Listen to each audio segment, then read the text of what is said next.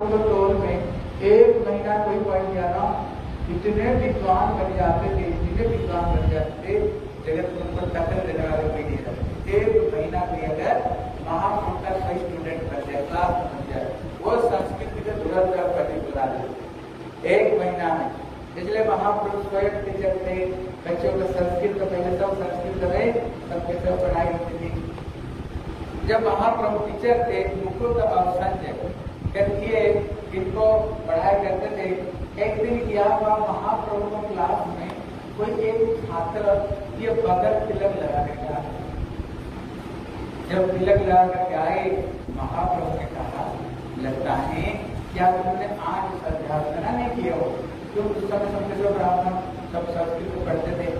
बोले, तुमने आज तिलक नहीं लगाया मतलब है, क्या तुमने आज गुरु को जब नहीं किया संध्या तुमने नहीं। की क्योंकि तिलक के बगैर आप लोग को आपको बता जैसे देखना जब कोई ब्राह्मण आते हैं तो सबसे पहले क्या करेगा? आपको तिलक लगाएगा तिलक के बगैर आपको पूजा ही करवाएगा। क्यों? तिलक के बगैर जो पूजा है, वो निष्फल हो जाता है। वो निष्फल हो जाता है। इसलिए आप देखना, बड़े बुढ़ों को देखना, पहले क्या करते चंदन चंदन घिस करके ठाकुर को चंदन लगाते थे? और जब चंदन बच्चा अपना क्या करते स्वयं अपना तिलक लगा लेते थे। पहले सबके सब ये तिलक लगाया करते थे। इसलिए जैसे आप लोग माता है, जो सदभा क्या करते हो? स्नान के बाद में सबसे पहले जो सदभा स्त्री सिंदूर लगाती हो, मांग करती हो। सबसे पहले करती कि नहीं?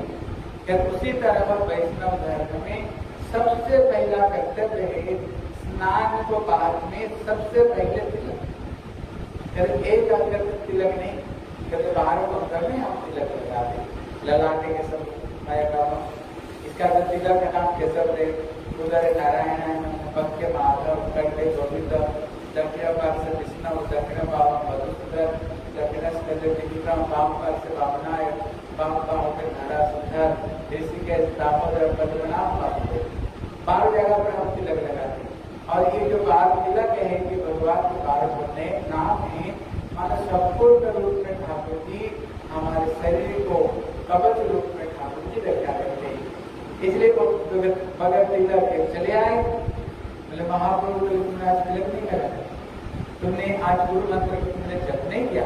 मतलब तिलक के बगैर तो मंत्र जप नहीं करते हैं। सब ब्राह्मण तिलक लगाए। हैं? कोई अच्छे काम के लिए तिलक लगा कर बैठते हैं। महाप्रभु बोले तिलक नहीं लगाया। जाओ घर पे घर में जाकर पहले तिलक लगा। तिलक लगा करके फिर गुरु मंत्र जब करके फिर अपना क्लास में आना।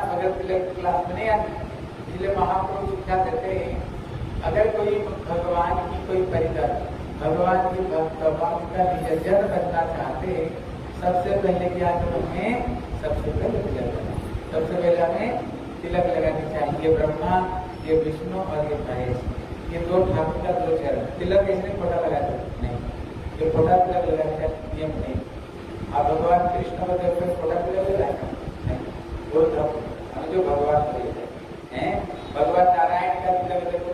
एक तो विष्णु भगवान राम को देखो, लक्ष्मण को देखो, भरत को देखो शत्रुघ्न को देखो, और हनुमान जी को देखो। तिलक कैसे? गोल हमें जो ऊपर भगवान को मिलेगा इसलिए इसलिए ये बुद्ध बुद्ध तिलक लगानी चाहिए तब महाप्रभु की चीज़ को शिक्षा देते हैं? सबको तिलक धारण करनी चाहिए। तो यहाँ पर अलग अलग शास्त्र में अलग अलग तिलक धारण करने का क्या महत्व यहाँ पर बताया? भक्त भया जो व्यक्ति ये उद्धव कुंड तिलक को करता है भी धर्म नहीं आप तिलक लगा करके, अगर ये तिलक का स्थापन करके जाओगे ना अगर आपकी बहुत बड़े एक्सीडेंट आ जाए बहुत बड़ा तुम्हारा एक्सीडेंट लेकिन तिलक लगा कर जाओगे एक्सीडेंट नहीं करा समझ तो है क्यों? तुम्हारी शरीर को जैसे कर्म का शरीर में कवच रहता था। जब तक उसका शरीर में कवच रहेगा तो कोई मार नहीं सकते। इसलिए इंदिरा में कवच कवच कुंडल लेके गया उसको बाद में अर्जुन मारा है? ये तिलक नहीं, अब भागवत पढ़ के देखो, जो पुतना आगे जो पुतना आ गई कृष्ण को मारने के लिए, जब कृष्ण ने पुतना को मार डाले, भैया क्या कहती है? पुनर को और प्रथम द्वादश अर्घेशु कृष्ण के द्वादश अर्घ में माँ जसोदा, तिलक लगा रही बोले लला के सब बोले, हे केसर देव, मैं लाला की लला को इसको रक्षा करूँ। उधर नारायण है मैं नारायण, फिर लाला को पेट को रक्षा करो पद के माधव रक्षा करो है ये जो तिलक की बड़ी महत्व इसलिए कहते तिलक धारण कहते हैं, उसको कहते हैं पद्म पुराण, भगवत भगवान खुद कहते हैं, जो व्यक्ति तिलक लगाएगा उसको कोई डर नहीं रहेगा, कोई भूत विशाल नहीं रहेगा। फिर आपको मैं एक संख्या प्रकाश अपने रसिया प्रचार करने के लिए जाते हैं। एक कोई व्यक्ति था, वो भक्त थे, लेकिन तिलक तिलक नहीं लगाता था। है? इतने में जब गया, उसने उसको भूत विचार देता था। रात को नींद नहीं आती आप लाल लाल बज रहे थे। जैसे जब भूत सवार उसको पेट में कोई बच्चा गर्भ धारण नहीं करता। बच्चा भी पेट में नहीं आता था। जब मैंने गया तो सारी बात बताई, मेरे बाबा में इतनी आती भूत विचार दिखता है, मेरा आम जब लाल लाल से पेट में बच्चा भी धारण नहीं करता था। खैर, मैंने कहा, देखो, ये द्वादश अगरबत्ती लग लगाओ और सारे तीर्थ पेपर दिया ना अगर किसी जब नीचे हो गोदावरी सरस्वती नर्मदे गोदावरी जल इसको तीर्थ आवरण करो आचमन तिलक को स्थापना करो, है? तिलक लगाओ। जो लगाया ना, पहला साल में बोल कर गया। लेकिन जब दूसरा साल में गया, उसने जब एक दो दिन की वो जो भूत उल्टा उल्टा दिखता था वो दिखाई नहीं मैं जब दूसरे साल में गया ना, देखा उसके बेटा हुआ है, जिसका नाम है राधा काकर अभी तक उसको बेटा घर में बेटा ध्यान नहीं कर पाया। क्यों उल्टा पुल्टा भूत आगे पकड़ता था ना? इसलिए मैंने उसका नाम राधा दास नाम रख। है तो तिलक की इसलिए भगवान कहते जो तिलक दान करता है उसको डर नहीं देता क्योंकि भगवान कहते जाके जाके साइया बाहर सके ना कोई बाल ना बांका कर सके जो जगह जब ठाकुर तिलक धारण करते भगवान। तो ज़रूरत नहीं था भगवान को तिलक धारण करते है। मतलब राम ना सकई नाम गुणदाई भगवान की नाम में इतनी शक्ति है भगवान भी स्वयं अपना नाम की बढ़ाई को नहीं कर पाते हैं। इसलिए कहते हैं प्रतिभा इसलिए नारद जी कह रहे अगर कोई तिलक नहीं धारण करता है तिलक धारण नहीं करते हैं, कहते हैं यज्ञ दानम तपोम स्वाध्याय पितृतर्पणम व्यर्थम भवति तत्सर्वम अगर कोई तिलक को धारण नहीं करते हैं पर इसका विपरीत है कहते उसको प्रत्यवाक्य यज्ञ कहते जो यज्ञ करता है, दानम, जो दान करता है, बोले तपम, जो तपस्या करते बोले होमम, जो होम करता है, बोले स्वाध्यायम, जो स्वाध्याय करते बोले तर्पणम, ये तर्पण व्यर्थम भवती तत्सर्वम। ये समस्त काम उसका व्यर्थ होगा ये नारद जी कह रहे हैं, तिलक बगैर जो कुछ कर सकते सब तुम्हारी व्यर्थ हो जाएगा, फल तुमको प्राप्त नहीं होगा। इसलिए हैं। कर्म करो इष्टम सर्वम निष्फलम। स्यात् न संशय। तिलक लगाए के बगैर किंचित कर्म करो जब कोई भी अगर कोई कर्म करते हैं इष्ट सर्व निष्फल उसका जितने कर्म सबके सब निष्फल हो जाते हैं। इसलिए सब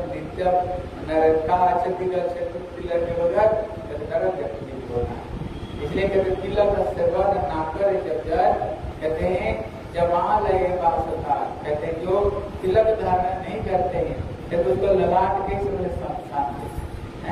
जैसे शमशान लेकिन अगर तिलक तो बाप हरी नदी कहते तुम्हारी जो शरीर शरीर नहीं, ये भगवान का मंदिर बन गया तो तिलक धारण कर दिया। कहते, जो तिलक धारण कर लेते हैं, अगर कोई व्यक्ति तिलक धारण कर, उसको अगर कोई दर्शन भी कर लिया ना तो उसको कृष्ण के लिए दर्शन करने को फल भगवत दर्शन करने का फल मिलता है। इसलिए शास्त्र बताया, अगर जो तिलक धारण करते हैं, उसका शरीर में ललिता सीता, सरस्वती, सावित्री, ये जितने देवियाँ हैं उसका शरीर में सारी देवियाँ निवास करती हैं बोले गंगा यमुना सरस्वती नर्मदे सिंधु कावेरी ये जितने तीर्थ है ये सब तिलक धारण करते हैं शरीर में सब निवास करते हैं इसलिए तिलक ब्रजराज तिलक ब्रजराज के तिलक है इसलिए कृष्ण जिस ब्रज रज को कृष्ण भगवान स्वयं ब्रज रज में भगवान स्नान किए तब उसका सर दर्द बुखार की तभी सही किए हैं इसलिए तिलक की बड़ी पहले मैंने बताया ना, कोई एक व्यक्ति था दोनों राजा कुछ नहीं हुआ। तो ये नीचे आग रहा है, तेल खोल रहा है, और वो व्यक्ति को छोड़ दिया ठंडा कैसे हो गया? बोले, कारण है, जैसे हम लोग तिलक लगाते हैं, स्नान करने का हाथ में घोलते हैं ना, जब देखना हाथ में जब पानी लेकर तिलक घोलते हैं कभी इधर से कभी पानी निकल जाता है। तिलक कभी कभी इधर से निकल जाती. है कोई वैष्णव ने तिलक बोला था घोलते घोलते स्नान करके कुंडों के पास में बोला और पानी निकल कर नीचे पड़ा हुआ था। ये तिलक का पानी। ये तिलक क्या? राधा की चरण। उद्धार भी जिनकी चरण की एक गुण को बदला करते हैं। शंकर स्वयं धारण करते हैं। ब्रह्मा स्वयं धारण करते हैं। समस्त देवादेवी जो ब्रज रथ को धारण करते कृष्ण स्वयं धारण करते हैं। ये ब्रज रथ साधारण नहीं लेकिन जब उसको गला काट दिया उसको जो सर जिस समय गिरा था क्योंकि वहाँ पर जो तिलक उसने घोड़ा था, वहाँ पर तिलक पड़ा। इसलिए उसका सर केवल तिलक को टच कर लिया, इसका फल नरक जाने पर भी उसको शरीर को और तेल में छोड़ने पर कुछ नहीं होता इसलिए हमारे वैष्णव धर्म में आप लोग भी सीखिए। जब कोई व्यक्ति सैलरी छोड़ देते हैं, आप क्या करते हैं? कोई पानी में अगर कोई यमुना गंगा पानी हो, उसमें स्नान कराते नहीं तो अगर वो भी नहीं हो, खड़ा में पानी लाते, उसमें गंगा गंगा पानी को थोड़ी दे के तो स्नान कराते स्नान कराते तो नया वस्त्र धारण कराते नया वस्त्र धारण कराते हुए हम जो तिलक लगाते हैं हम तो द्वादश की वैष्णव जाते हैं। जिससे हम तो सारे अंग की हम तिलक लगाते हैं और जो सन्यासी होते हैं, उनको छाती में जो गोपी मंत्र, गुरुदेव जो गोपी मंत्र सन्यास को देते हैं, वो छाती के ऊपर तिलक से गोपी मंत्र को लिखते हैं। फिर उनका दाह संस्कार करते हैं और दाह संस्कार करते समय तुलसी कुछ जो सूखा हुआ जो वृक्ष है तुलसी सूखा हुआ वृक्ष को वहाँ पर देख करके शरीर को हम दाह संस्कार करते हैं। और गला से कभी भी तुलसी टट्टी नहीं उतरनी चाहिए जो गले में तुलसी टट्टी रहेगा कहीं भी मृत्यु होगा सीधा वो भगवत भाव को, भगवत भाव को व्यक्त करेगा।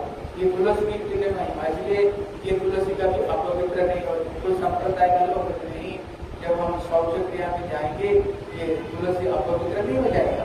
इसलिए उसको उतार देगा वैष्णव लोग होते नहीं या तुलसी इतने घटिया की तो अपवित्र होने पर ये अपवित्र होने पर तुलसी अपवित्र होने नहीं। ये तुलसी पवित्र है। जब हम अपवित्र अवस्था में रहते हैं, अगर गले में तुलसी का धारण करते हैं, ये तुलसी हमें पवित्र ना कर ये तुलसी का अपवित्र नहीं होती। इसलिए वैष्णव कभी भी गले से तुलसी कटी नहीं उतारते हैं।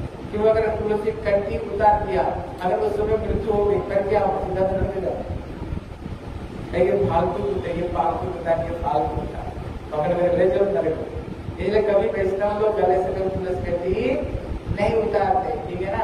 इसलिए यहाँ पर महाप्रभु ने सिखा दिया है। क्या दिया है? हर समय के दिलों को, हर समय लगा के रखनी चाहिए। दिलों को कभी सजे से नहीं बिगड़नी चाहिए। तिलक कभी जैसे स्नान कर लिया। दोपहर में भी कभी स्नान उसके बाद फटाफट क्या करो तो सबसे पहले तिलक लगा सबसे पहले ये तिलक लगाना इसलिए महाप्रभु बड़े सुंदर दी आज भक्त लोग करेंगे आज प्रकार कार्य सकती है। आप कथा का आज जल्दी जल्दी विश्राम दे देते हैं लिए शरबत निकालते इसलिए आज कथा को जल्दी विश्राम दे देते हैं फिर आप थोड़ा ज़्यादा करो। ठीक है? और जो परसों आप लोग ज़्यादा भक्त लोग लेके क्या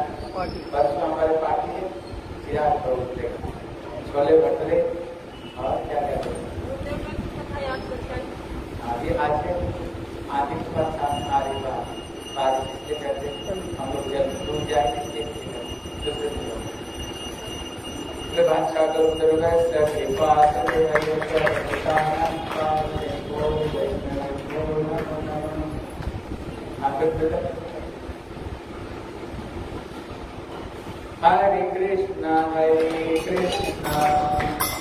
कृष्ण कृष्ण हरे हरे।